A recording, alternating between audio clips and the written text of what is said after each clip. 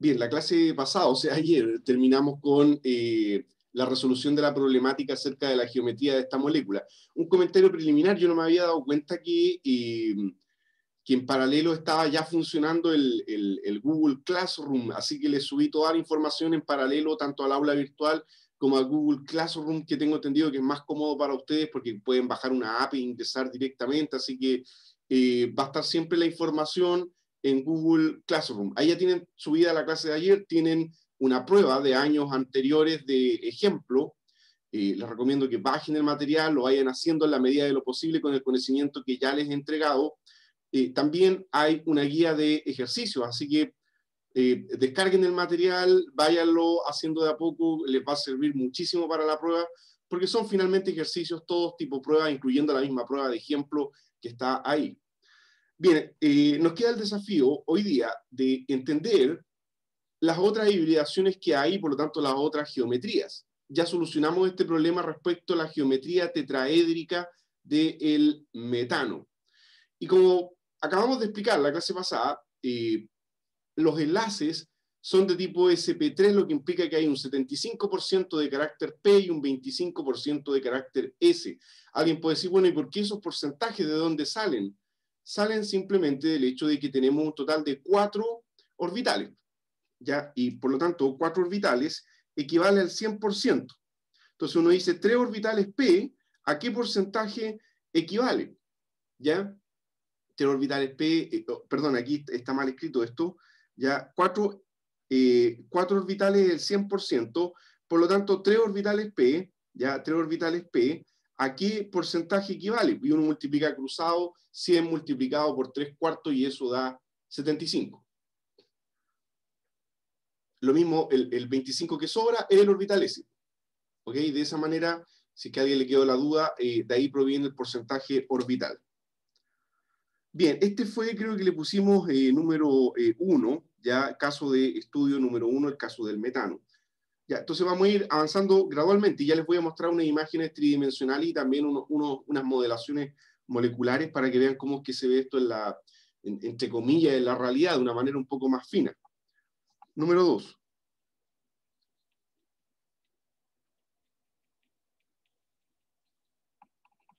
El eteno, a diferencia del el caso anterior, eh, el eteno, a diferencia del caso anterior, tiene un enlace doble. Bueno, a ver, respecto a la consulta sobre eh, el taller, ya trabajen tranquilo, ya eh, yo les voy a avisar mínimo eh, con una semana de anticipación. Así que esa guía taller que está ahí en el, en el Google Classroom, descárguenla, váyanla haciendo de a poco en la medida del, conocimiento que tienen. Yo les voy a avisar mínimo con una semana de anticipación. Bien, este tiene, tiene un enlace doble, por lo tanto, recuerden, el carbono es del grupo 4, el protón es del grupo 1, entonces, podemos concluir que la estructura de Lewis tiene esta forma.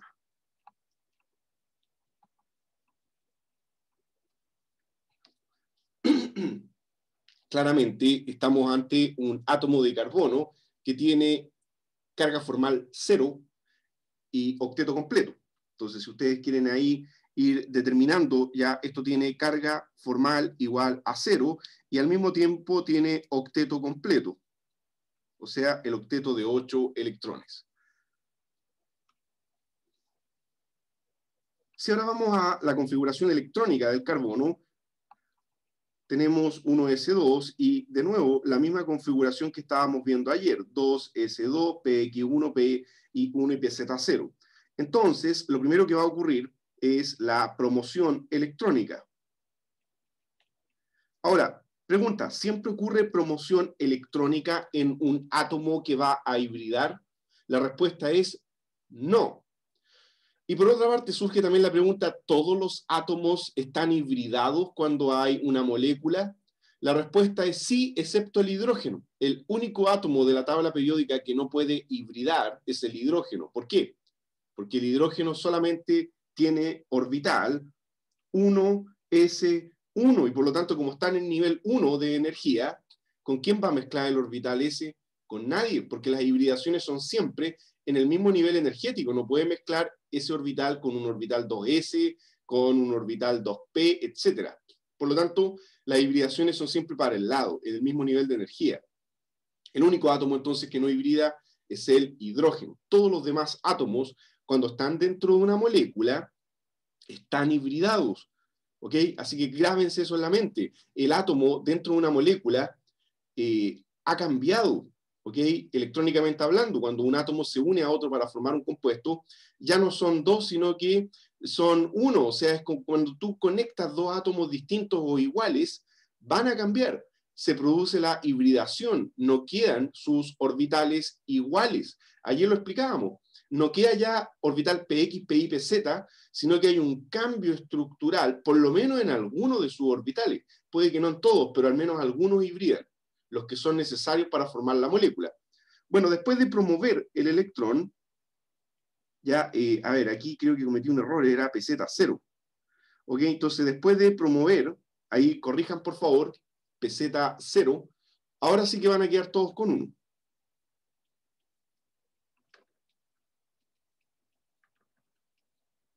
Y por lo tanto ahora viene la hibridación propiamente tal, que corresponde a la mezcla. Entonces, la hibridación, ojo, se hace átomo por átomo, así que aquí nadie puede hibridar a la molécula completa. Como hay un plano de simetría, si ustedes se fijan, claramente tenemos simetría, nos vamos a fijar en un único átomo de carbono, en cual da lo mismo. Si la molécula es simétrica, veamos eh, este carbono de acá. ¿Ok? Ese carbono que estoy marcando ahí, llamémosle carbono eh, B, si quieren, carbono A, carbono B, tenemos lo siguiente. El carbono B, para saber cómo va a hibridar, tiene, la fórmula era enlaces más pares electrónicos. Cuando hablábamos de enlaces, un enlace simple, un enlace doble o un enlace triple, se cuentan como si fueran un enlace, ¿ok? Entonces nadie va a contar el enlace triple como si fuera tres enlaces o el doble como si fueran dos. Se cuenta como un enlace. Entonces, la hibridación de nuestro carbono B, ya continuando con esto, sería igual a enlaces, ya estamos calculando para el carbono B, da lo mismo porque la es igual, tiene tres enlaces. Tiene un enlace doble y dos simples. ¿Ok? Nuestro carbono B tiene un enlace doble y dos simples, tiene tres. ¿Le sobró algún par electrónico? Ninguno. Como la solución es igual a tres, ¿eso qué significa? Eso significa de que va a hibridar o mezclar, que es lo mismo, tres orbitales. Así que así de simple y rápido ustedes van a saber la hibridación de un átomo, contando enlaces y pares electrónicos. Entonces, si vamos ahora a nuestra configuración electrónica promovida, tenemos que mezclar tres, y siempre en orden de izquierda a derecha, no mezclar tres que se me den la gana, sino que vamos siempre por orden, el S, y de ahí vamos añadiendo hacia la derecha. Entonces, si mezclamos tres, vamos a tener que la hibridación va a ser de tipo SP2.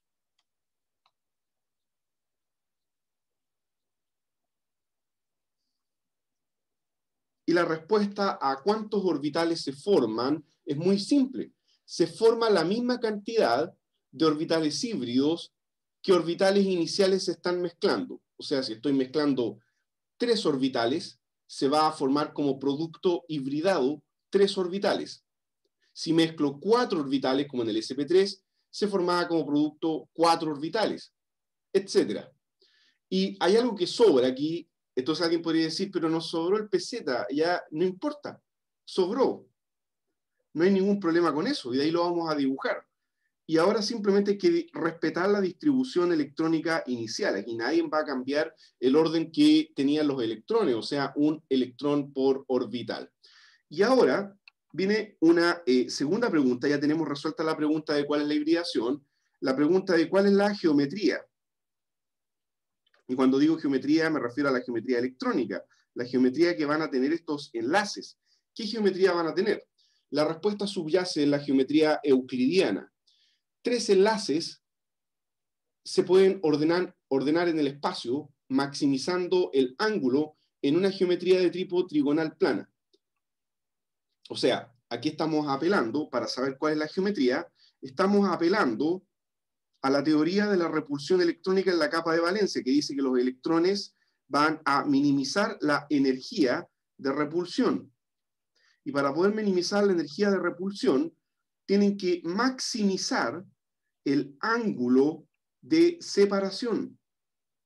Entonces ustedes no pueden dibujar los tres orbitales sp2 juntos, hay que separarlos.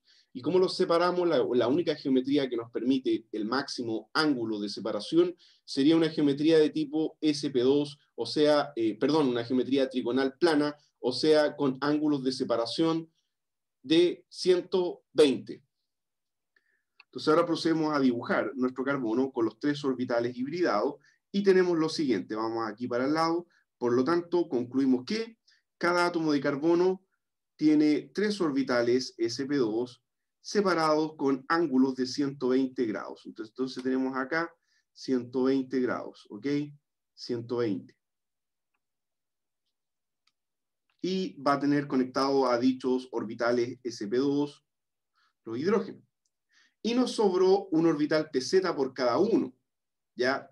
Bueno, el orbital pz que sobra, lo dibujamos con otra raya. Lo voy a dibujar con otro color, ya, porque voy a hacer una observación al respecto. A la unión de tipo sp2-sp2 se le llama enlace sigma. Entonces, ese sigma que ustedes ven ahí corresponde a la unión de orbital sp2-sp2. Ahora, a la unión que tenemos acá, que sería de tipo sp2-1s, también se le llama unión de tipo sigma. Mientras que a la unión de orbitales p, que sería la unión de pz con pz, se le llama enlace de tipo pi.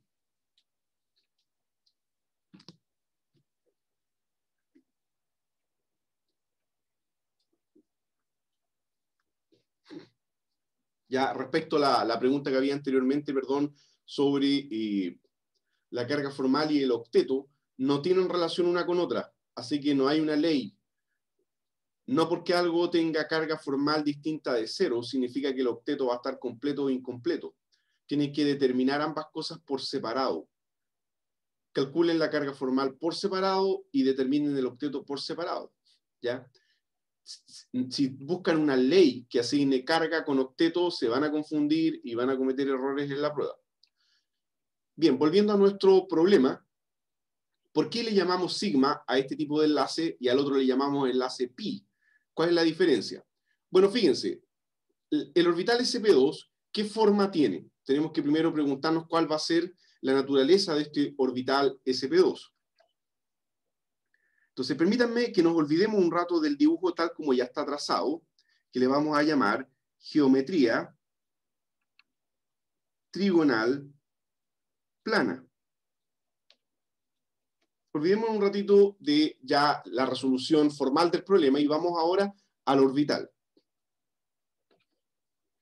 El orbital SP2 va a tener 33,3% de carácter S y 66,6% de carácter P. Bueno, en realidad tiene 33,3 periódico y 66,6 periódico, ¿ok? Pero ahí estamos eh, redondeando los valores. O sea, tiene menos carácter P que el orbital SP3 que habíamos dibujado en un comienzo. Recordar que el orbital S es de naturaleza esférica y el orbital P es de naturaleza eh, bilobular, aunque el nombre técnico ya de esa geometría, eso se llama lemniscata de revoluciones. Recuerden que los orbitales eh, atómicos corresponden a la solución matemática de la ecuación de Schrödinger lo cual van a estudiar más adelante los que tomen mención química. Corresponde a una resolución de una ecuación que es el análogo a las leyes de Newton, pero aplicada a escala atómica, aplicada a nivel mecánico cuántico. Bueno, y esa geometría, esa función ya eh, orbital P, es lo que se llama una lemniscata de revoluciones, una función tridimensional que nos otorga la región de probabilidad donde puede estar el electrón. Entonces, si ahora eh, aplicamos esto para saber la geometría, la geometría sería algo más o menos así. Ese sería un orbital SP2. Entonces, cada vez se eh, parece o se aplana más. Ya, ya, digamos, el, el, el, SP3 era un poco más largo. ¿ok? Entonces, entre paréntesis, el SP3 era una cosa más o menos así. El SP2 ahora está un poquito más eh, parecido al S, ¿ya? ¿Ok? O sea, como que se acorta. En otras palabras, ¿ok? El SP2 es más corto. El SP3 tiene mayor longitud.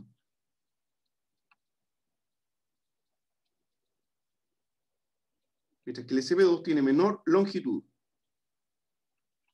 ¿Qué estoy diciendo con esto? Estoy diciendo que el orbital SP2 es más corto que un orbital SP3 en distancia. Entonces, cuando tenemos dos átomos conectados por orbitales SP2, están más juntos que si estuvieran conectados por orbitales SP3, porque el orbital SP2 se acortó, tiene solamente un 66,6% de carácter P, mientras que el SP3 tenía un 75% de carácter P. Entonces, eh, voy a simplificar el dibujo de esta manera. Observen lo siguiente. Esto significa que cada átomo de carbono, ya cada átomo de carbono, tiene tres orbitales sp2 que los podríamos dibujar así, ya yo voy a dibujar uno solo así, a los otros les voy a dibujar sólido, ya el, la, nube electrónica se la voy a dibujar sólida, y el otro carbono que está acá al frente, bueno, es la misma historia, ya, y lo voy a dibujar con otro color, el orbital eh, sp2, perdónenme ya que el, dibujo no es lo, lo óptimo, no estoy dibujando el, lóbulo que sale para atrás del núcleo, ya para no enredar tanto el dibujo. Bueno, pero ahí ustedes entienden de que estamos ante una fusión de tipo SP2, SP2, y a esa unión se le llama enlace sigma, y eso es una unión frontal fuerte. Es una unión frontal fuerte, se van a unir de manera intensa, se van a fusionar esas nubes electrónicas de manera fuerte, intensa, no es fácil de romper, en otras palabras. Los enlaces sigma eh, cuesta romperlos, por ejemplo, una manera de romperlos es aplicando energía por radiación ultravioleta. Por eso que la luz ultravioleta es peligrosa, exponerse demasiado al sol, sobre todo en estos tiempos que estamos viviendo, donde la capa de ozono tiene un tremendo agujero, exponerse demasiado al sol va a hacer que esa luz ultravioleta rompa enlaces sigma. Y a nivel celular, ¿qué es lo que se va a romper? El material genético, el ADN, se van a producir mutaciones, puede generar cáncer. ¿Ok? Los enlaces sigma son fuertes, pero la luz ultravioleta tiene energía suficiente para romperlo.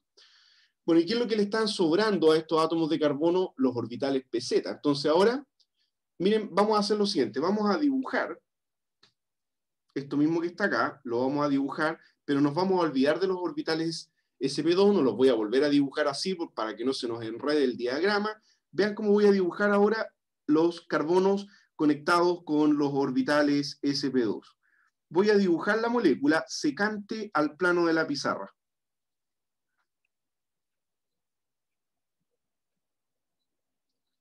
Bueno, aquí un poquito más largo este.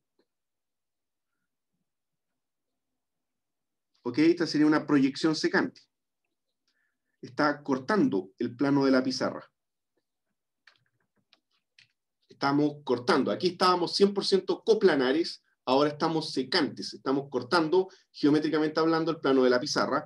¿ya? Y cada línea es un orbital sp2 conectado a un, eh, en este caso, carbono-carbono, o, bueno, aquí yo no lo dibujé, pero se entiende que el resto, acá tenemos una unión de tipo eh, sp2, 1s, pues aquí estamos conectando con el hidrógeno que tiene un orbital 1s y, ¿no es cierto?, eso se está conectando al sp2 y eso también es una unión de tipo sigma, una unión fuerte, ¿ok? Era lo que nos faltaba, o sea, una unión fuerte es cuando los orbitales se solapan frontalmente, lo que dije ahí, y por lo tanto hay una eh, unión intensa.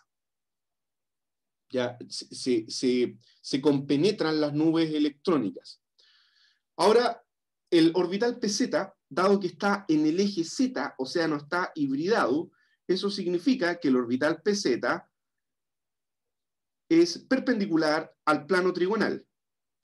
Aquí vamos a tener un ángulo ¿ya? un ángulo de 90 grados. Entonces, el orbital PZ, PZ es perpendicular al plano trigonal.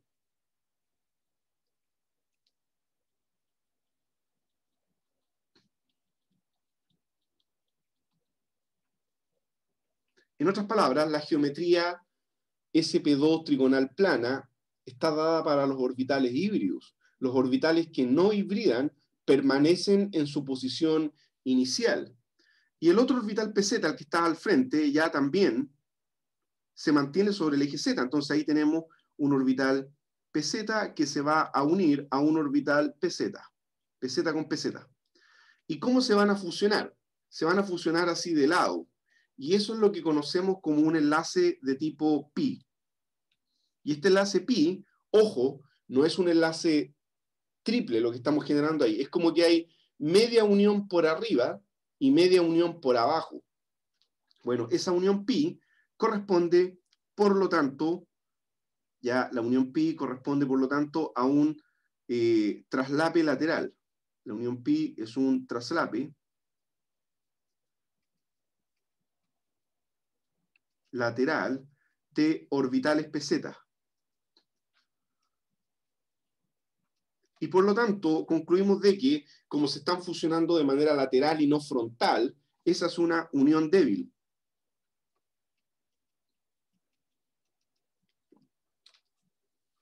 Y como es una unión débil, cuando haya reactividad química, y se van a acordar de mí en química orgánica, cuando vean esto en química orgánica, es muy común que donde hay enlaces dobles o triples, ahí ocurra la reacción química, porque ahí están los orbitales pi, que son los orbitales de unión débil y por lo tanto los que son más fáciles de romperse para eh, formar una reacción química. Bueno, así hemos llegado a una comprensión cabal de esto. Yo les voy a proyectar a continuación unas imágenes donde se ve eh, un poco mejor este asunto de diagrama orbital. Denme un segundo para eh, proyectar la imagen de los orbitales.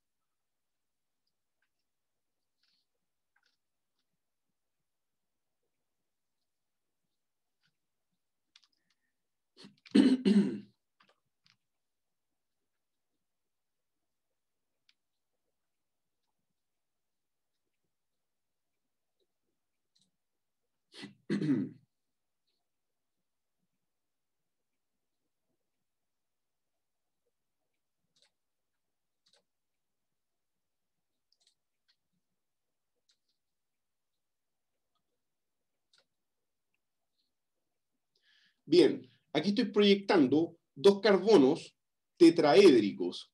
Y como ustedes pueden ver, está marcado en color rojo un orbital sp3 fusionándose a otro orbital sp3 de manera frontal. Y cuando se unen, vean lo que se forma. Se forma un orbital molecular llamado sigma. Esa es la unión sigma que estamos explicando.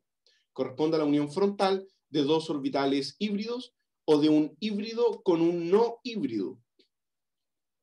Ahora, este es un carbono sp3 y si ustedes se fijan, se ven unos lóbulos más chiquititos que traspasan, esos corresponden al, al, otro pedazo del orbital que yo los omito por lo general para no enredar tanto el dibujo, ¿ya? Pero los globos grandes es el orbital sp3. Aquí tenemos dos carbonos fusionándose con orbital sp3, con sp3, para formar la molécula de etano, ¿ok? ¿Qué pasa ahora con el que vimos recién? Bueno, vamos para allá, yo les voy a mostrar ahora.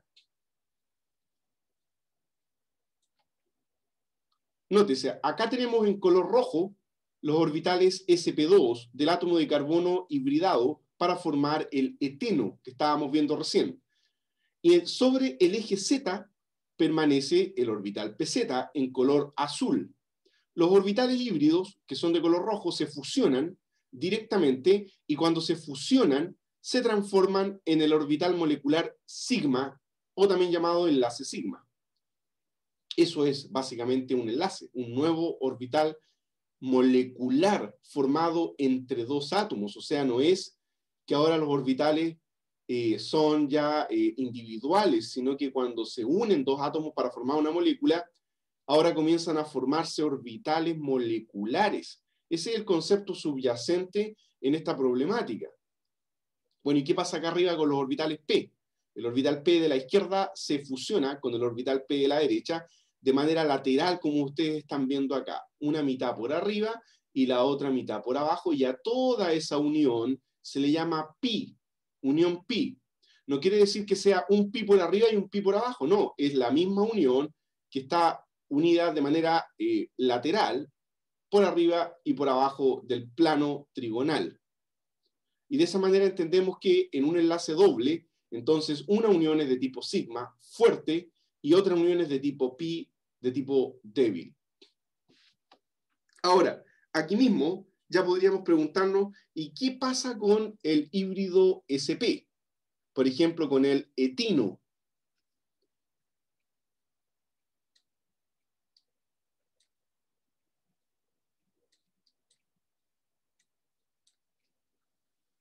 Miren, aquí estoy proyectando dos carbonos que se van a unir con hibridación SP para formar la molécula de etino. O sea, este carbono que está acá en el centro tiene dos orbitales sp que son los que están en color rosado, ya o, medio rojizo. Este color rojizo, un orbital sp para adelante y un orbital sp para atrás. Así que por favor, estoy explicándolo, esos rojos que están ahí no son orbitales p, son orbitales híbridos sp, uno para adelante y el otro para atrás.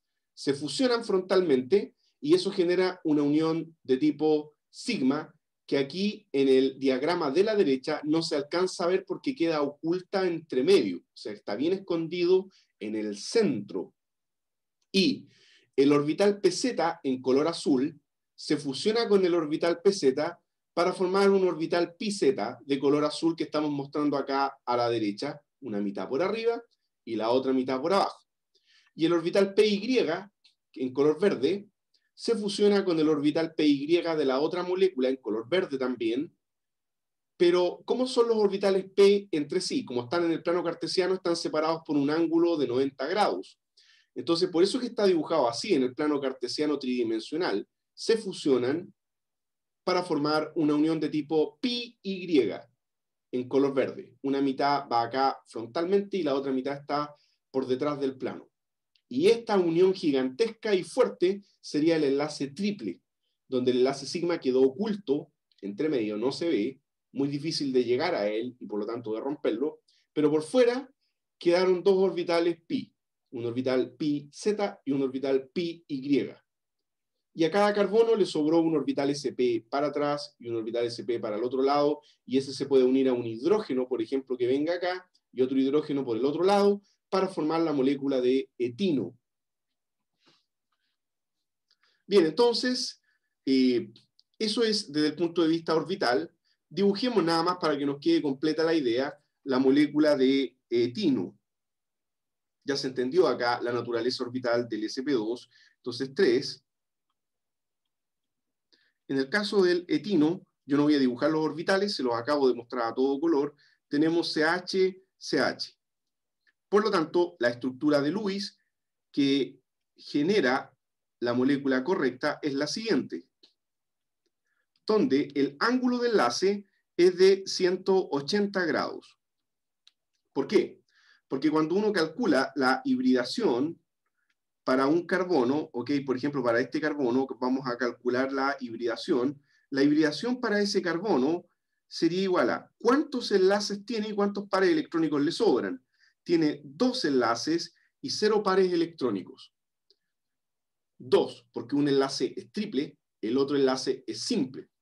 Y por eso nosotros concluimos, en ese caso particular, de que la hibridación es de tipo SP.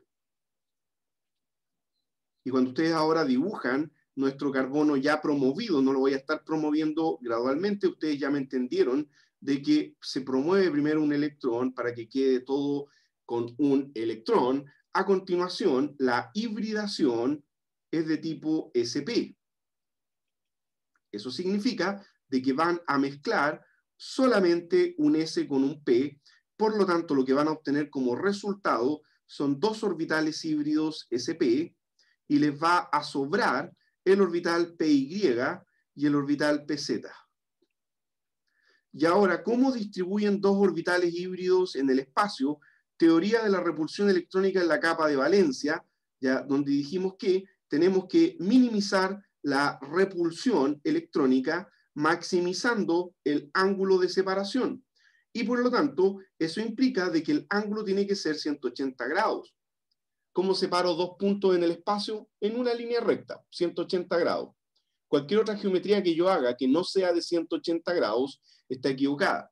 Permítanme rayar acá, y esto sería un error, así que no es necesario que eh, tomen nota, solamente observen. Si es que alguien dibujara, por ejemplo, este enlace así, tal como lo estoy dibujando acá, sería un error serio porque acá están generando un ángulo de 90.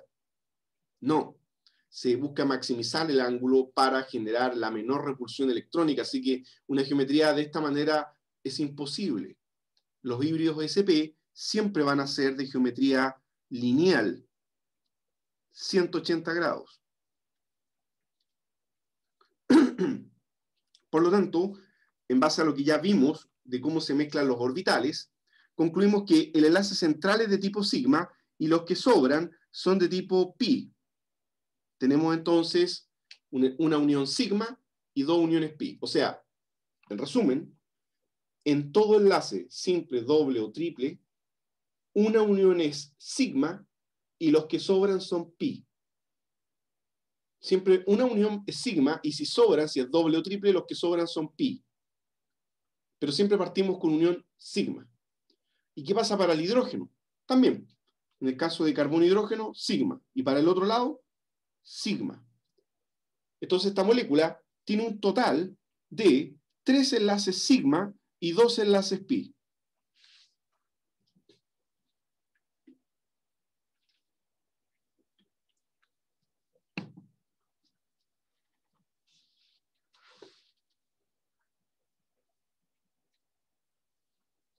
¿Y qué ocurre con los porcentajes de contribución?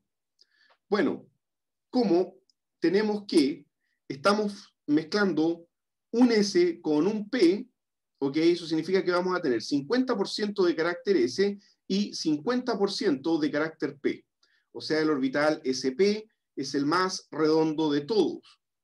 Y por lo tanto, si ahora tenemos que recapitular este asunto, eh, tendríamos que dibujarlo más o menos así. Esto sería el SP3, después viene el SP2, y después viene el SP. Tenemos que el tamaño va disminuyendo. O sea, vamos acá desde el más largo hasta el menos largo. Se va achicando, se va acortando. La distancia interatómica, por lo tanto, va reduciéndose. Y también vamos a añadir una segunda propiedad. El orbital sp3 es el orbital menos electronegativo, mientras que el orbital sp es el más electronegativo.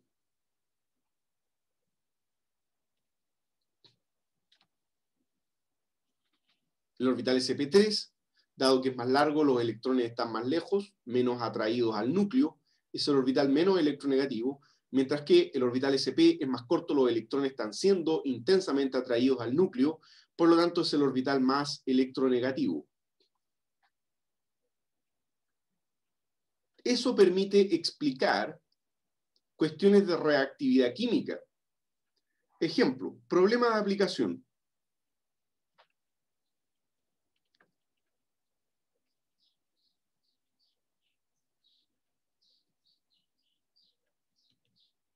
Si tenemos la molécula ya eh, orgánica de, eh, bueno, lo voy a dibujar completo, ya de pentano,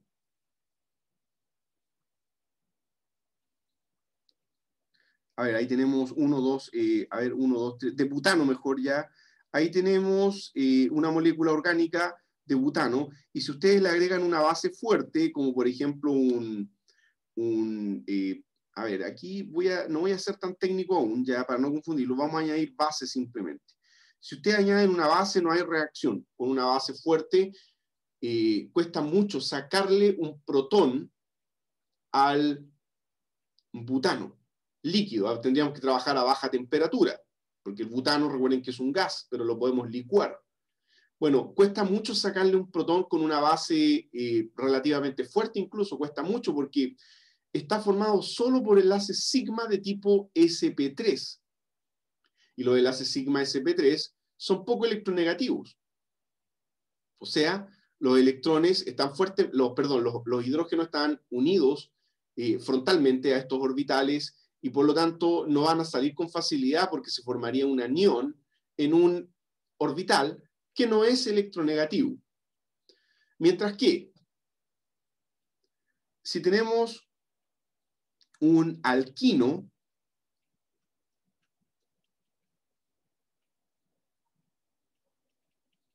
voy a poner acá R, R representa todo el resto de la molécula, me da lo mismo a lo que esté unido acá, lo que importa es si tenemos una porción alquina terminal, este sería un alquino terminal, ¿Por qué terminal? Porque termina en un hidrógeno, ahí se acaba, no hay más cadena para allá. Si eso ustedes lo tratan con una base lo suficientemente fuerte, sí puede perder un protón. Y por lo tanto, lo que va a ocurrir es que la molécula se va a transformar en un anión. ¿Ya? Ahora, ¿por qué es eh, favorable esta formación, o mejor dicho, por qué es posible? porque el anión que se está formando tiene carga negativa, o sea, generó un par electrónico con un electrón adicional sobre un átomo de carbono que tiene hibridación sp. O sea, este orbital donde está eh, residiendo el par electrónico ahí, ese orbital es de tipo sp. ¿Ok? Y por otra parte, estamos diciendo que tenemos acá un anión en orbital sp, lo cual es más favorable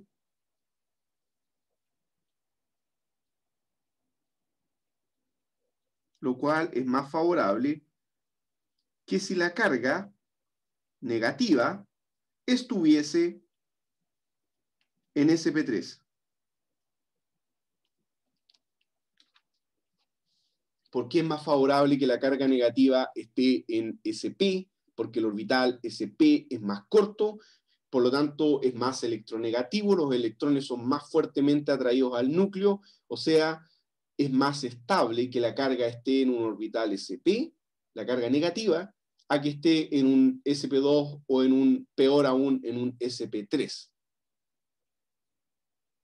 Entonces, este es un ejercicio de aplicación ya eh, y, bastante ya eh, mucho más avanzado, por cierto.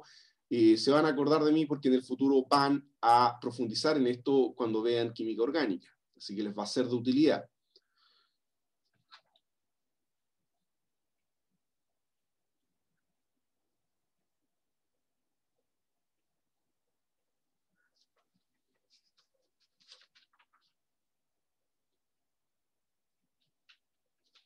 Bien, ahora, hemos estado hablando acerca de, eh, acerca de formación de moléculas, de ángulos de enlace, y también tendríamos que ahora mencionar, hacer alguna mención de cuáles son las longitudes de enlaces para que tengan un valor real y concreto con el cual poder comparar. Entonces, características. ¿Características de qué? De los enlaces eh, que estamos viendo cuando la molécula hibrida.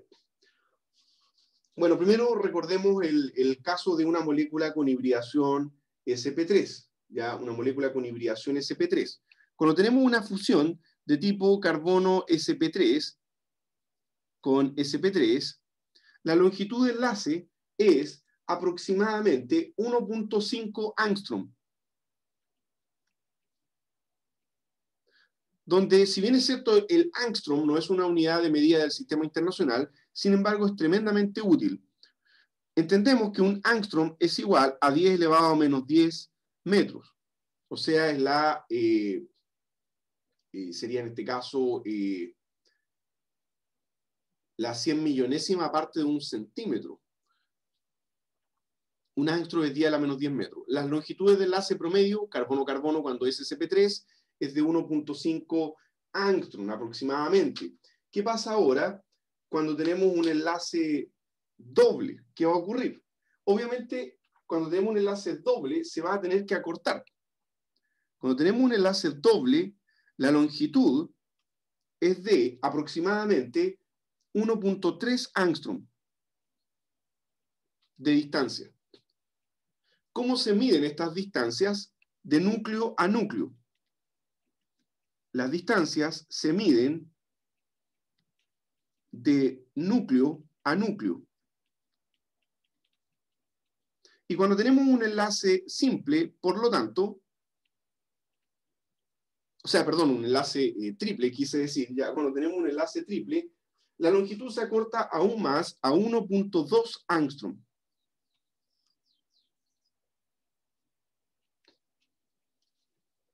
Sea, hay una reducción significativa de la longitud del enlace. El enlace se acorta, los átomos de carbono están más cerca cuando cambia la hibridación. Entonces estamos pasando de un híbrido sp3-sp3 a una unión de tipo sp2-sp2 y finalmente unión de tipo SP-SP. El ángulo se acorta sistemáticamente.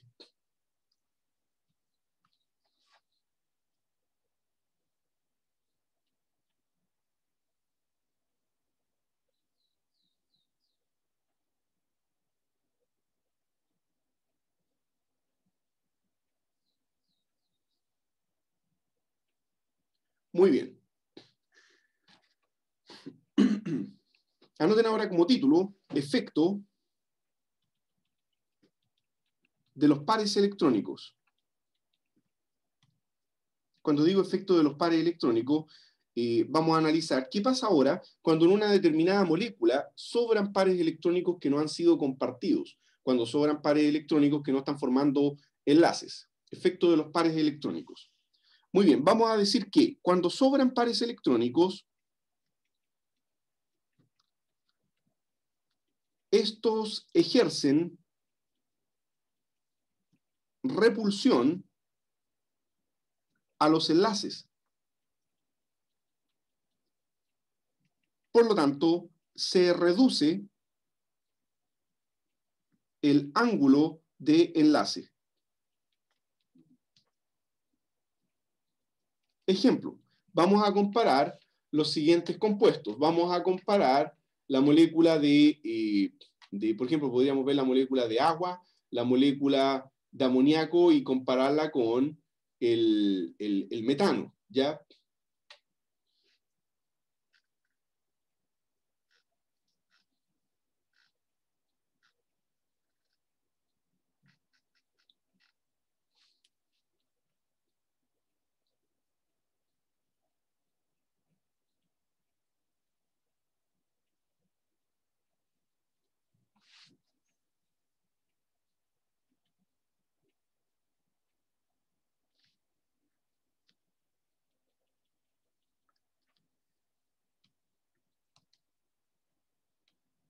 Entonces vamos a dibujar el metano, vamos a dibujar el amoníaco, ya vamos a dibujar el amoníaco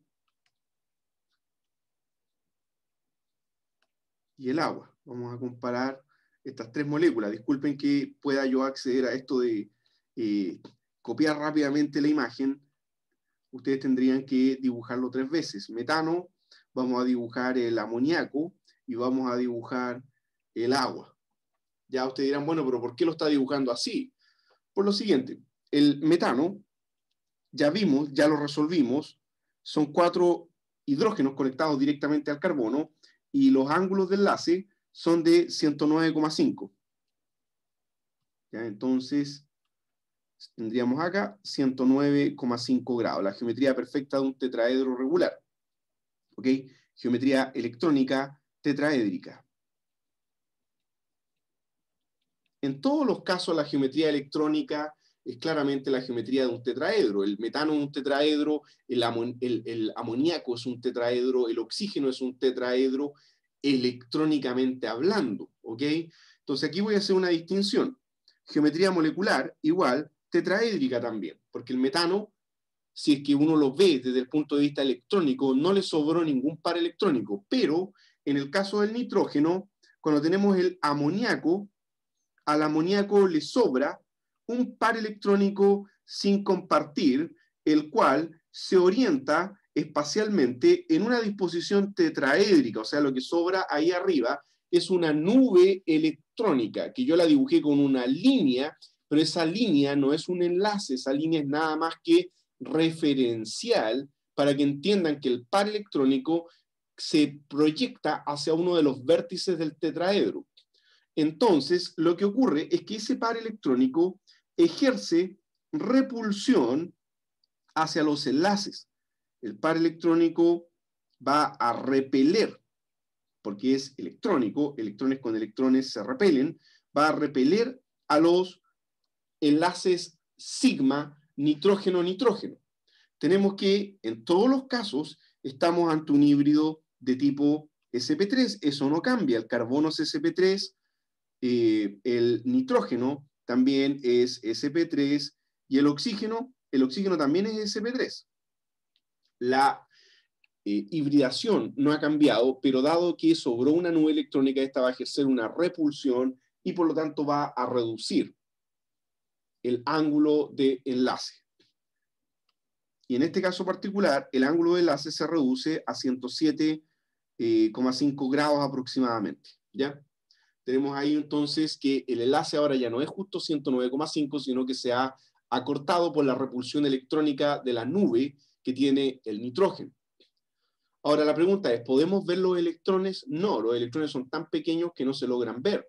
O sea, esta nube electrónica no es como un globito que se va a ver arriba del nitrógeno, esto es nada más que un esquema, eh, un modelo mecánico cuántico para poder entender la molécula.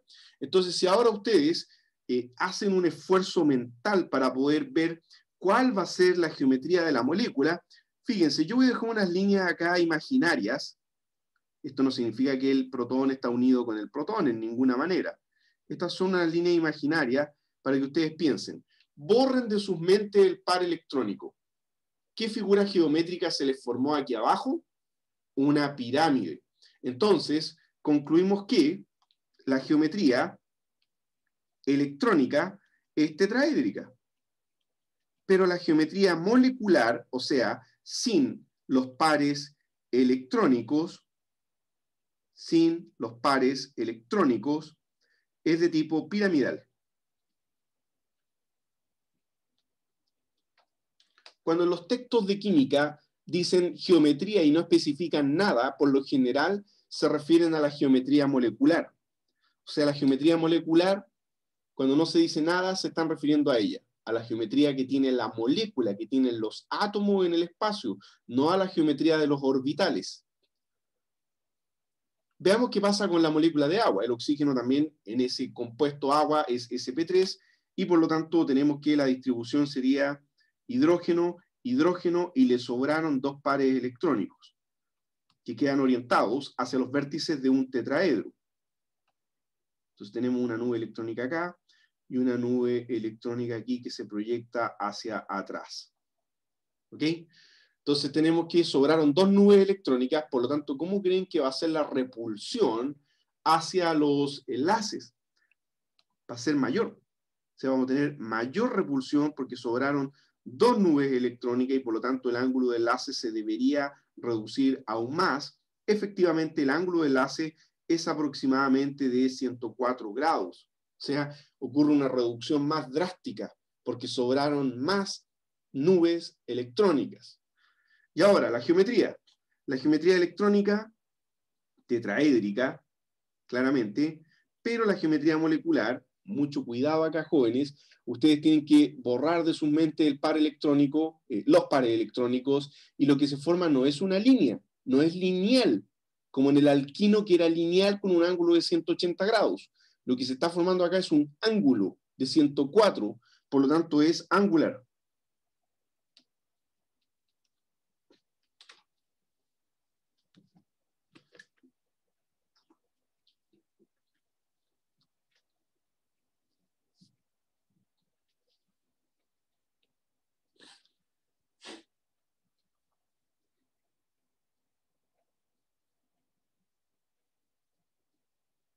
La geometría molecular es, por lo tanto, angular.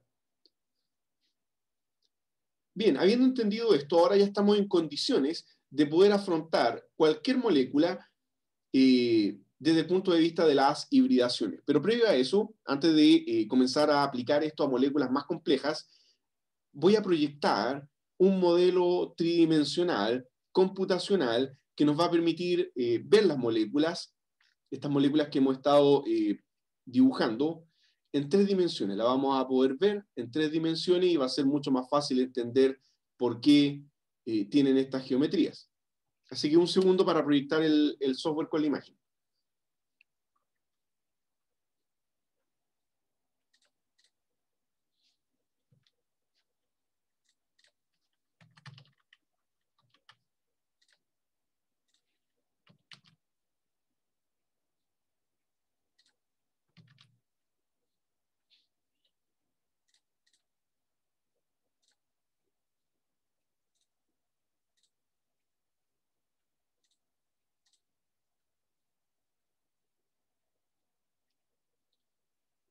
Bien, en este momento acabo de proyectar una imagen computacional tridimensional de la molécula de metano. Necesito saber si la están viendo. Sí, profe, se ve. Muchas gracias. Este metano, como podemos ver acá, es 100% tetraédrico, o sea, lo que ustedes están viendo acá es una molécula simétrica, simétrica, simétrica, por todas partes. ¿Ok? Este es nuestro metano. Ahora, la pregunta es, ¿Es esta la forma real con la cual se vería si tuviéramos un, un super microscopio para poder ver la molécula? Bueno, la respuesta es no, porque los átomos están cerca, dijimos recién que estaban eh, eh, juntos en el orden de 1.1 eh, a 1.5 angstrom, ¿ok? Entonces, si cambiamos de representación, esto es más o menos lo que se vería se veríamos los hidrógenos con su respectivo radio atómico fusionado, compenetrado, se dice técnicamente, con el carbono. ¿Por qué? Porque las nubes electrónicas se eh, fusionan unas con otras, o sea, la nube sp3 del carbono con el orbital 1s del hidrógeno, se fusionan para formar esta conexión que se llama enlace sigma. Así, así lo veríamos más o menos. Esto es lo que ustedes verían esta es la forma de la molécula. Esto se parece mucho más a la realidad que lo que estábamos viendo recién. Obviamente no, lo verían así en, colores ya, pero eh, esta es la distribución de los átomos en el espacio. Y hay varias formas de representarlo. Alguien también podría ocupar este esquema, que es otro tipo de esquema que permite ver los enlaces de muy buena forma, pero se pierde, por ejemplo, la comprensión de los tamaños atómicos. Entonces, se fijan, no hay, no hay un, único modelo que me permita ver la molécula apropiadamente. A mí en lo particular me gusta mucho el de bolas y, y, ¿cómo se llama? Y líneas, ¿ya? Este creo que es la mejor representación tridimensional para un compuesto. Y el de esferas es muy útil cuando uno está estudiando reactividad química, porque ahí uno puede ver qué tan cerca están los átomos en el espacio unos de otros. Con este modelo de esferas grandes, uno puede ver y decir, ah, están lejos, están cerca, es mucho más fácil estimar distancias cuando uno está haciendo un estudio de reactividad química. ¿Ok? Y bueno, dibujemos otro. Teníamos acá el metano, pasemos ahora al que tiene el enlace doble, el que estábamos viendo delante. O sea, el eteno.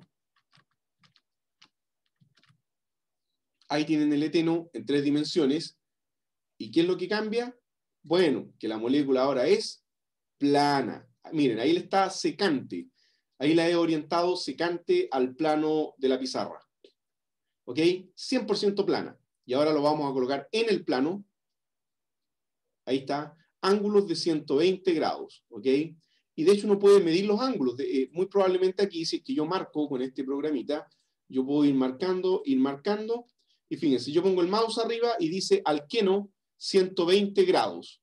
O sea, me está mostrando que el ángulo eh, hidrógeno, carbono, carbono es de 120 grados. Ahora tal vez me, muestra esta distancia. ¿Puedo ver? Ahí está, miren. Coloca ahí el, cursor y dice alqueno 1.3 angstrom aproximadamente. Ya está con más decimales. O sea, podemos ver eh, cuál es la longitud. Ya estos software hasta eso nos permiten. Ahora, ¿qué pasa si yo marco protón y carbono? La longitud es más chica. lo cual es de esperarse. ¿Por qué? Alguien puede decir, pero profesor, ese un enlace SP3 simple debería ser más largo. Sí, pero cuando era carbono-carbono, yo les mostré longitudes carbono-carbono. El hidrógeno, como ya es más pequeño y solamente tiene una capa electrónica 1s, está más cerca del carbono que cuando dos carbonos se juntan, porque los dos carbonos tienen, tienen, son del nivel 2, tienen dos capas electrónicas, mientras que el hidrógeno más pequeño tiene solo una capa y la distancia, como pueden ver ahí, es de 1.1 angstrom para la unión de tipo sp2, 1s, carbono, hidrógeno. Veamos ahora la molécula de amoníaco.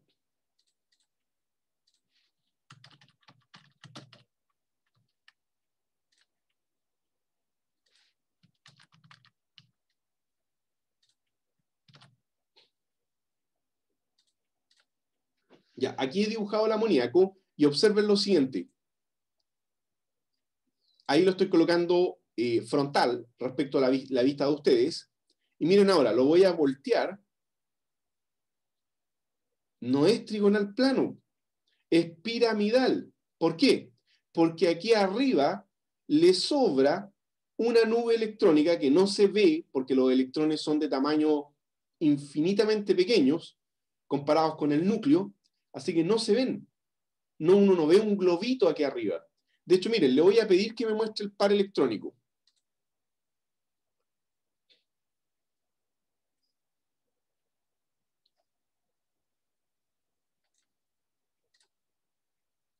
Ya. Ahí tenemos un globo de color rosado en la parte de arriba y ese globo es el par electrónico que sobra. Y como pueden ver, el par electrónico que sobra no se orienta para cualquier parte, se orienta justo hacia un vértice de un tetraedro. Entonces, este, este par electrónico que vemos acá corresponde a la nube con el par que sobra, pero no se ve. Esto es un, modelo matemático, no es como ustedes verían la molécula en la realidad, ¿ok? Así que mucho cuidado.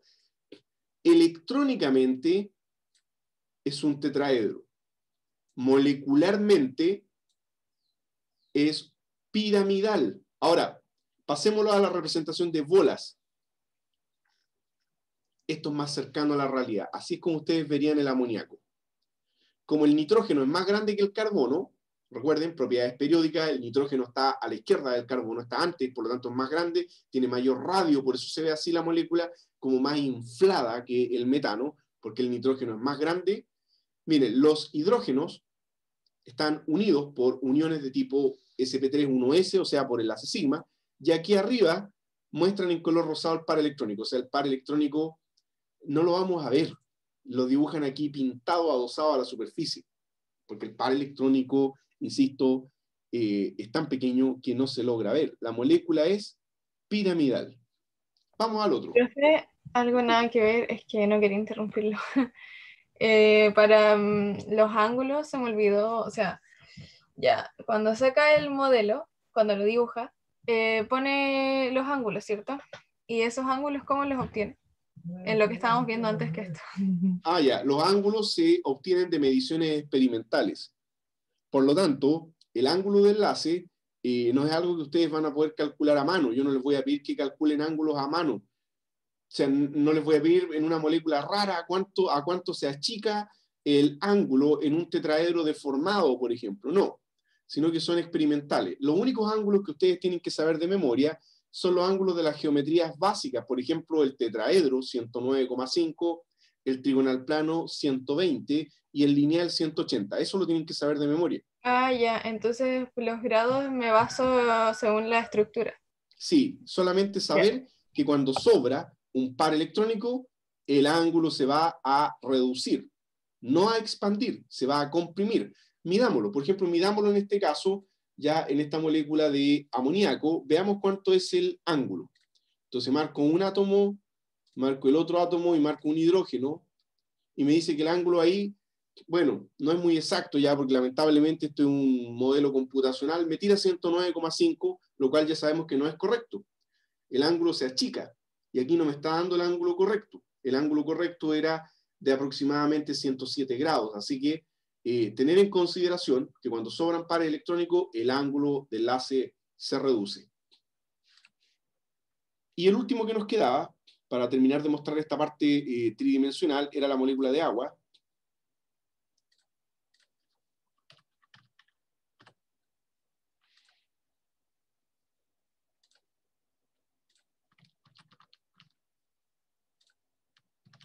Ahí está. Entonces, la molécula de agua, tal como la estamos viendo acá, no es lineal, es angular. Ya, bueno, si yo le calculo, obviamente me va a tirar un ángulo que probablemente no va a ser el, correcto, pero veamos. Ah, no, aquí miren, aquí curiosamente tiró bien el ángulo, dice 103,7 grados. Claro, el ángulo es más pequeño que el de un tetraedro porque le sobran dos pares electrónicos. Veamos dónde están los pares electrónicos. Ahí están, en color rosado, esos son los pares electrónicos, pero ustedes ya saben que esto es la geometría electrónica. En realidad, con un microscopio hipotético que nunca jamás va a poder ser inventado, no, veríamos la molécula así, ya simplemente veríamos una molécula con disposición angular, o sea, de esta manera. Eso es lo que ustedes verían. Un oxígeno que tiene conectado dos hidrógenos directamente hacia él. Y por acá arriba, bueno, por aquí sobraron dos pares electrónicos. Esta sería entonces la representación tridimensional de la molécula de agua. Bien, volvamos al apunte.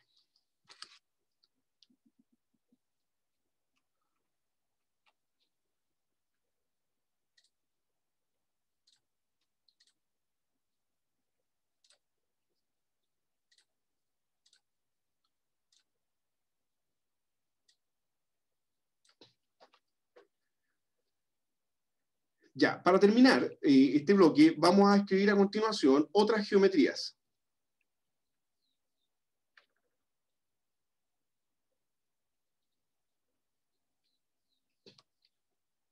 Vamos a resolver otras geometrías interesantes, particulares, de múltiples otros compuestos de tipo eh, fundamentalmente eh, orgánicos, eh, inorgánicos, también algunos, bueno, formados mayoritariamente por no metales, porque ya les dije que los metales de transición son un caso aparte que van a estudiar en, eh, en, en, este caso, ¿no es cierto?, sería en química inorgánica, ¿ya? Bien, otra geometría. Entonces, vamos estudiando otros casos geométricos. Uno,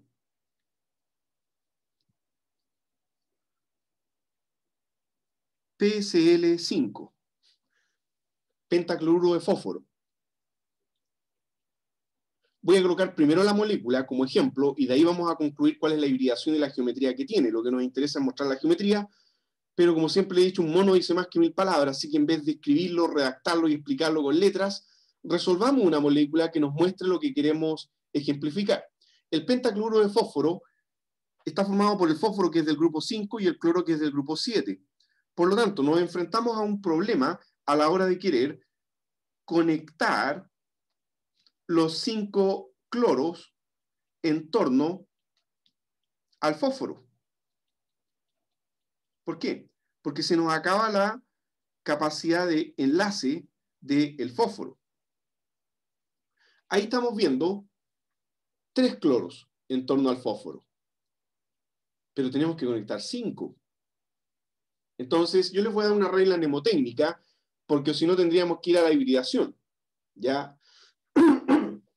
la regla mnemotécnica dice, cuando usted eh, tenga que conectar más de la capacidad de enlace aparente, simplemente tome la nube electrónica que está sobrando ahí y separe esos electrones. Y al separarlos vamos a tener cinco electrones en torno al fósforo que se van a poder conectar a cinco átomos de cloro. Entonces, después de hacer este proceso mnemotécnico, tendríamos que el fósforo va a tener una configuración de Lewis de 5 electrones y por lo tanto va a poder enlazar fácilmente 5 átomos de cloro. Pero esa no es la geometría. La geometría no es plana, no es un pentágono regular. Entonces, vamos para allá. ¿Qué hibridación tiene el fósforo? Entonces vamos a calcular la hibridación del fósforo. Sería, ¿cuántos enlaces tiene? 5. ¿Cuántos pares electrónicos le sobraron? 0. por lo tanto tiene hibridación sp3 ¿Y qué más? Ahí llevamos cuatro orbitales. ¿Qué vienen después de los P? Los D. sp3d.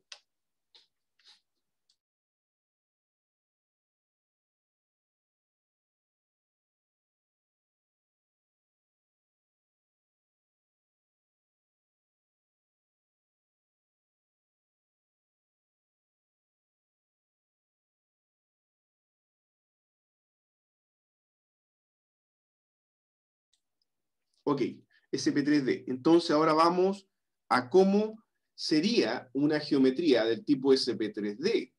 Bueno, una geometría SP3D la podemos interpretar como 3 más 2. 3 más 2 es 5. O sea, como trigonal más lineal.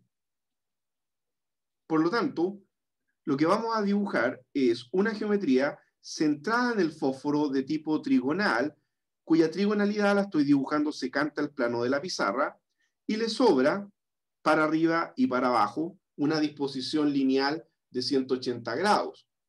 Esa geometría, donde el resto, ¿no es cierto?, van a estar ahí conectados los átomos de cloro a cada posición respectivamente, tiene una separación de 120 grados en el plano trigonal y una separación de 180 grados y por lo tanto, ¿no es cierto?, acá 90 grados el plano trigonal respecto al cloro axial que queda para arriba y para abajo. Entonces tenemos lo que se llaman disposiciones axiales. Por una parte, este cloro que está acá, por ejemplo, es axial. Axial significa que está vertical.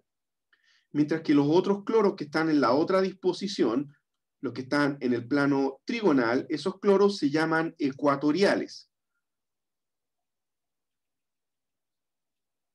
Esa geometría se llama geometría de tipo geometría electrónica igual a geometría molecular. ¿Por qué? Porque al fósforo no le sobró ningún par electrónico. Se llama bipiramidal.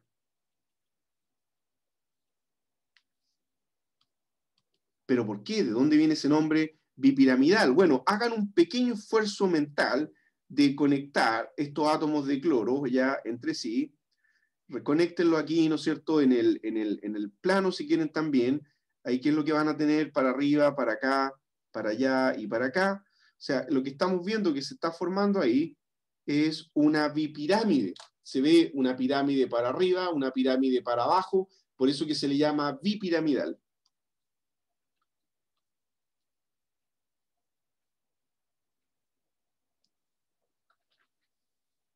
Las líneas grises no es necesario que las dibujen, ya yo las dibujo para que se entienda de dónde vienen eh, los nombres. Bipiramidal, entonces, consiste en una geometría centrada en el fósforo, en este caso, donde hacia arriba hay una pirámide con una base trigonal plana y para abajo también. Los sustituyentes separados por 180 grados se llaman sustituyentes axiales y los sustituyentes en el plano trigonal se llaman sustituyentes o átomos ecuatoriales. Bien, vamos a dejarla ahí y vamos a comparar qué hubiese pasado si en vez de PCL5 yo le hubiese pedido a ustedes el PCL3. Bueno, si les hubiese pedido el PCL3, ustedes lo único que hubieran hecho es P y hubieran conectado los tres cloros y les hubiese sobrado un par electrónico. Por lo tanto, hubiesen concluido de que la hibridación del fósforo es igual a tres enlaces más un par electrónico. Ahora le sobra un par electrónico, o sea, cuatro, por lo tanto es sp3. O sea, tiene una geometría electrónica tetraédrica y una geometría molecular piramidal. Por lo tanto, a la hora de dibujarlo en tres dimensiones, hubiesen tenido que hacer un tetraedro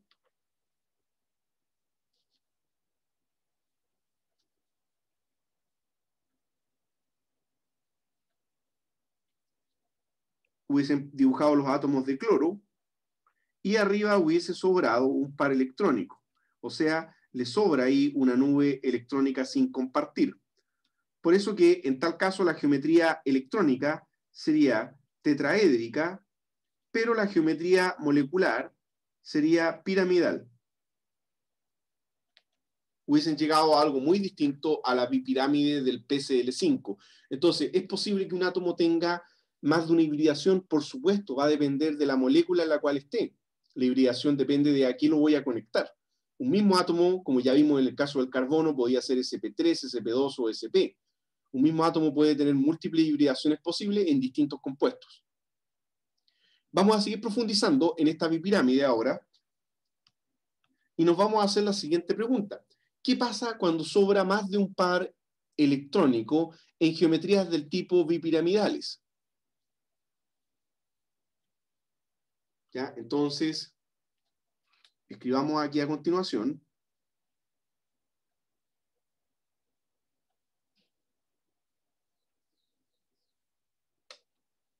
Dos y CL3. Entonces, 10 segundos para que ustedes, 15, ya, para que ustedes traten de pensar qué es lo que va a ocurrir ahí.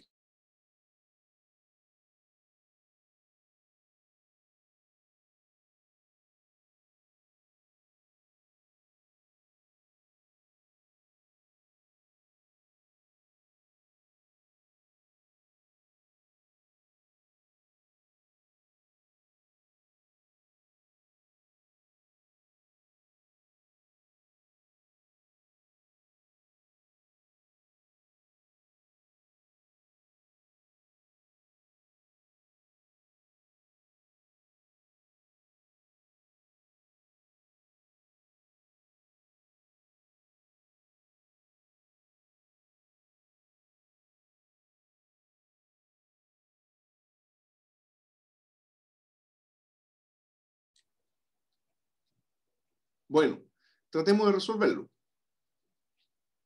El yodo es del grupo 7, es un halógeno igual que el cloro, ambos son del grupo 7.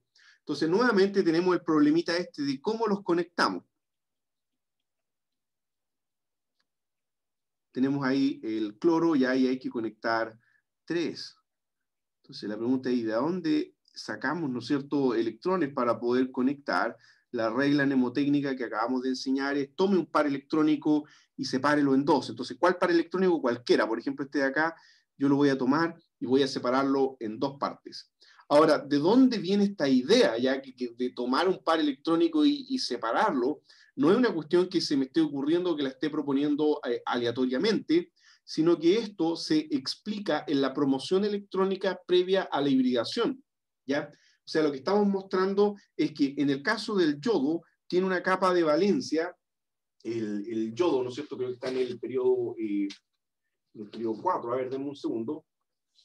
El yodo está en el 5, perdón, ya, por lo tanto tiene una capa de valencia del tipo 5, S2, PX2, PI2, PZ1.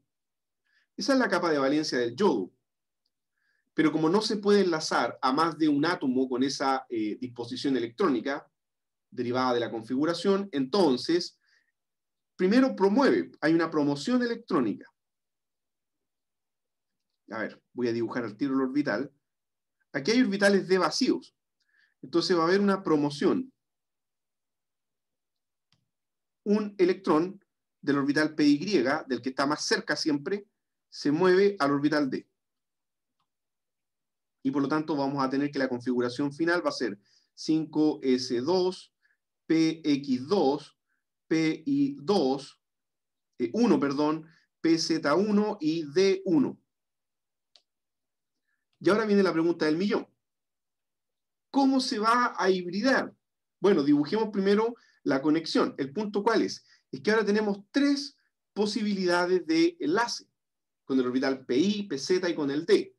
Pero no va a ser con esos orbitales porque el, yodo hibrida. El punto es que tenemos tres electrones libres para poder formar tres enlaces ICL3. Entonces, ahora dibujemos aquí al lado cómo sería la unión. La unión va a quedar así. Yodo conectado a tres átomos de cloro.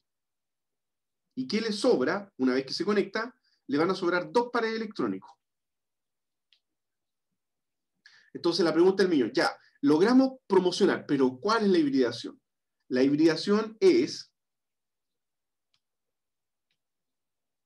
yodo ¿cuántos enlaces tiene? Tres. Más, ¿cuántos pares electrónicos le sobraron? Dos. Por lo tanto, la hibridación es SP3D. Entonces acá tenemos que hibridar del tipo SP3D. Y por lo tanto vamos a generar, yo no lo voy a dibujar desarrollado, vamos a dibujar cinco orbitales híbridos del tipo SP3D. Ese es el resultado y, perdón, cada uno de ellos va a tener un electrón eh, dentro de sí. Cinco orbitales SP3D. Y ahora viene la pregunta, ¿y cuál es la geometría? Recién acabamos de explicarla. La SP3D era bipiramidal. ¿Cuál es el problema para ustedes? ¿Dónde ubicar los átomos de cloro? Entonces dibujemos la bipirámide.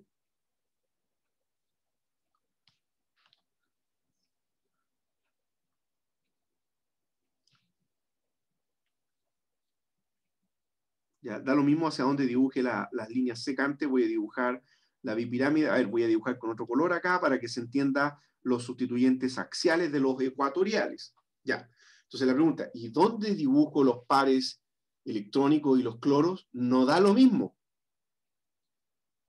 no da lo mismo. La geometría molecular es distinta. La respuesta es, siempre que tengamos hibridaciones CP3D, o sea, siempre que tengamos geometrías del tipo electrónicas bipiramidales, los pares electrónicos prefieren la ubicación ecuatorial. Repito, siempre que tengamos una eh, geometría electrónica bipiramidal, o sea, una hibridación SP3D, los pares electrónicos prefieren la ubicación ecuatorial. Por lo tanto, vamos a tener que aquí tengo que dibujar dos pares electrónicos y como la, la zona ecuatorial es simétrica, da lo mismo donde yo dibuje los pares electrónicos. Los voy a dibujar ahí para que se vea más ordenado el dibujo nomás. Pero tiene que ser en la parte ecuatorial. Y lo que sobra lo ocupan los átomos conectados al átomo central, o sea, el cloro. Por lo tanto, tenemos que la geometría electrónica es de tipo bipiramidal. Pero la geometría molecular es de tipo forma de T. Ya, yo sé que no es un nombre muy rimbombante, pero así se le llama ya forma de T, así de simple. ¿Ok? Forma de T.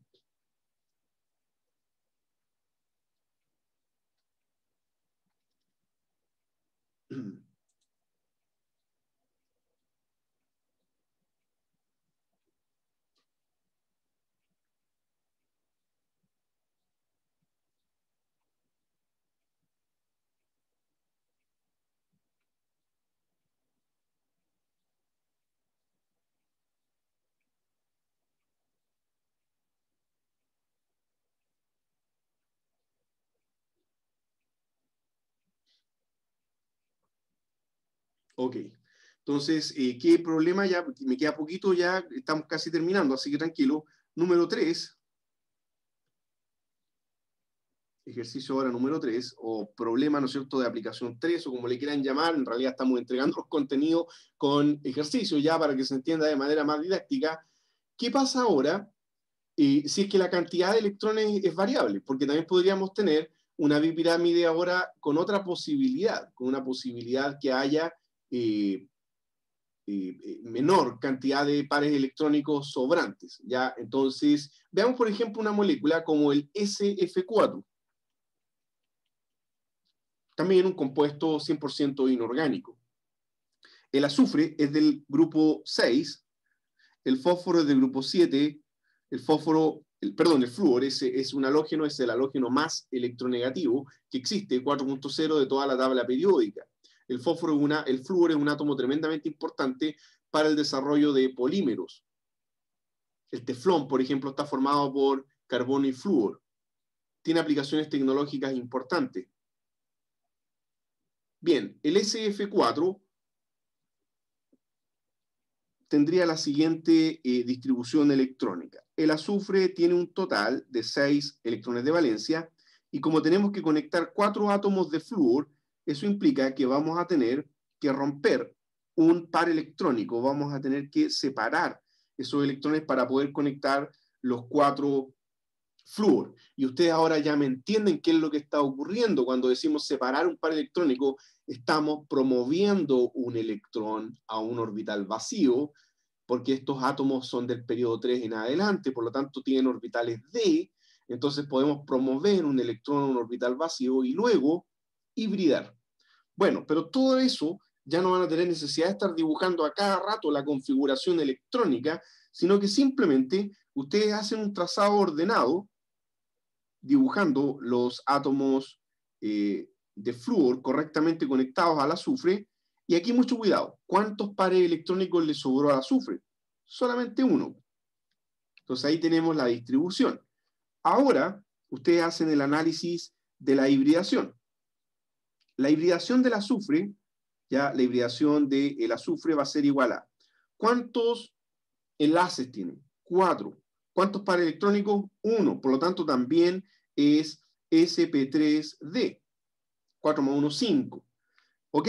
Seguimos gradualmente con nuestro razonamiento, dibujamos la bipirámide centrada en el azufre, dibujamos los sustituyentes eh, ecuatoriales, o sea, dibujamos la parte trigonal plana y dibujamos los sustituyentes o las líneas axiales.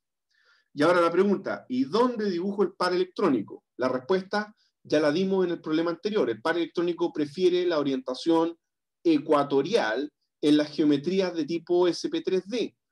Por lo tanto, dibujamos en cualquier posición el par electrónico y donde sobra dibujamos los átomos de flúor.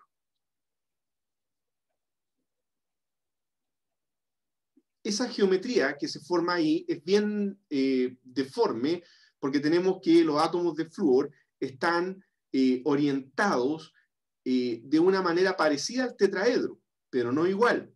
Por eso que vamos a decir que la geometría electrónica es bipiramidal,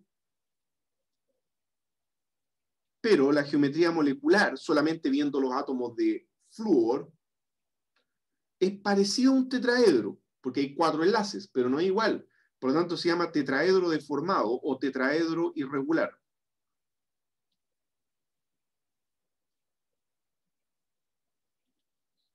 En algunos libros eh, puede que vean la forma eh, un poco más, eh, la forma un poco más antigua, con la terminología más simplista, le llamaban forma de balancín.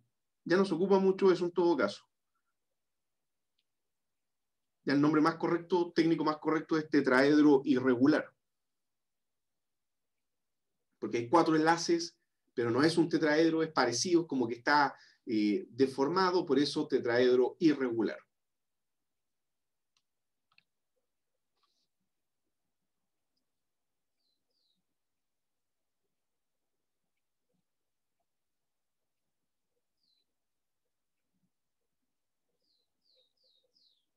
Y bien, y número cuatro,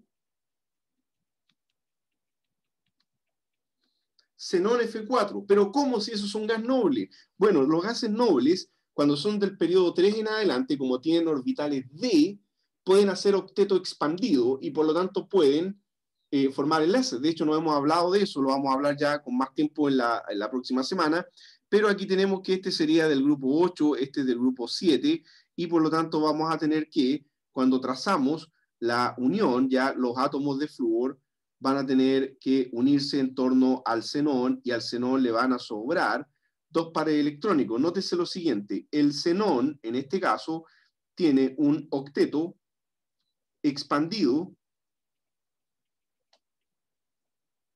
de 12 electrones. ¿Por qué puede expandirlo? Porque tiene orbitales D. Calculen de cuántos electrones eran los octetos en los ejercicios anteriores que vimos con el fósforo, con el cloro, con el yodo. Háganlo de tarea también van a llegar a la conclusión que son octetos expandidos, pero de distinta cantidad de electrones. El xenón aquí está siendo un octeto expandido extremo, ya con dos electrones. Tiene muchos electrones eh, porque tiene orbitales de vacío y puede recibirlos. Entonces terminamos eh, esta clase con este compuesto, que para este caso sería la hibridación del xenón igual a 4 más 2. cuatro enlaces más dos pares electrónicos, lo cual nos da 6, o sea, SP3, ahí vamos, 4 más 2 serían 6, SP3D2, SP3D2. ¿Cómo se distribuye eso en el espacio? La respuesta es, se distribuye en lo que se conoce como un octaedro regular.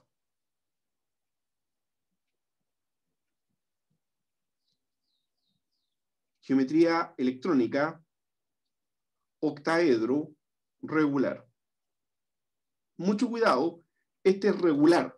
Significa que para donde lo den vuelta, el octaedro se ve igual. Ojo, aquí no existen sustituyentes axiales y ecuatoriales. Por lo tanto, los pares electrónicos prefieren separarse por un ángulo de 180 grados. En conclusión, la geometría molecular se llama cuadrada plana. Muy bien, jóvenes señoritas, gracias por haber participado. Esta es la última diapositiva de hoy. Que tengan un excelente término de semana.